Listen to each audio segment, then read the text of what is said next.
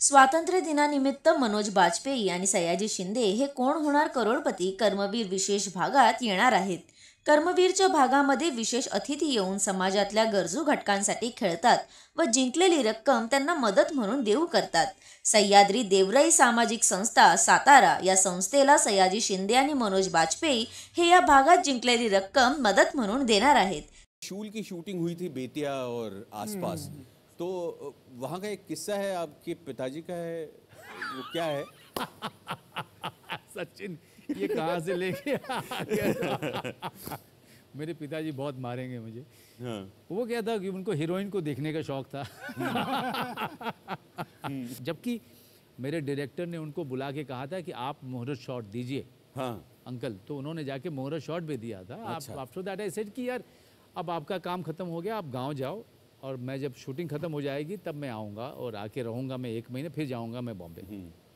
तो एक बार मैंने देखा कि मेरे पिताजी भीड़ में खड़े हैं। हाँ। और मेरी और रवीना की शूटिंग थी कि हम लोग ट्रेन से उतर रहे हैं। रेलवे स्टेशन रेलवे स्टेशन पे।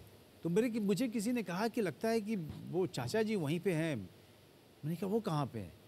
उसने कहा देखो देखो उधर है चाचा जी भीड़ में है। तो मेरे पिताजी ने देखा कि हम लोग देख रहे हैं तो पीछे वो चुपके से ना पीछे की तरफ़ जाने लगे कर मैं उनके पास गया मैंने कहा आप क्या कर रहे हो? नहीं नहीं नहीं तुम अपना काम करो ना। नहीं लेकिन आप यहाँ का क्या आप आपको आए हो तो चल के बैठो वहाँ पे।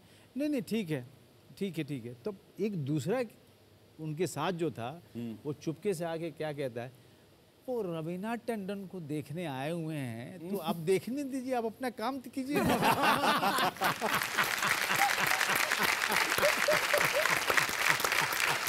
मैं जिस जगह से हूँ सचिन जिस स्कूल में या जिस वातावरण में माहौल में हम लोग पढ़े बड़े हैं वहाँ पर हरिवंश राय बच्चन जी और वहाँ पर रामधारी सिंह दिनकर और वहाँ पर सुमित्रा नंदन पंत जी निराला जी इनको बहुत ज़्यादा लोग पसंद करते थे। जब मैं फोर्थ स्टैंडर्ड में था फिफ्थ स्टैंडर्ड में तो एक एलिक्यूशन कॉन्टेस्ट होता था सारे स्कूल्स में।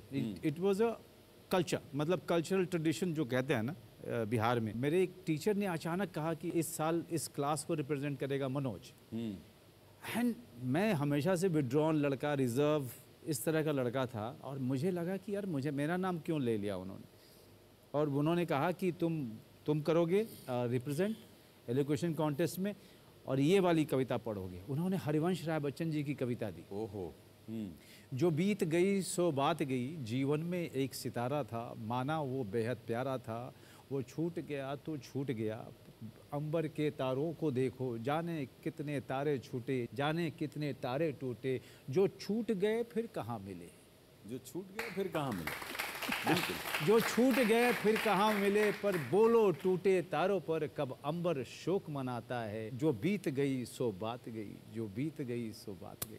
क्या बात ना, ना, ना, ये मेरा पहला परफॉर्मेंस था अपनी ज़िंदगी का। आ, और उसके बाद फिर मेरा कविताओं के प्रति बड़ा एक आकर्षण रहा और कविताएँ मैं बहुत बाजता रहा।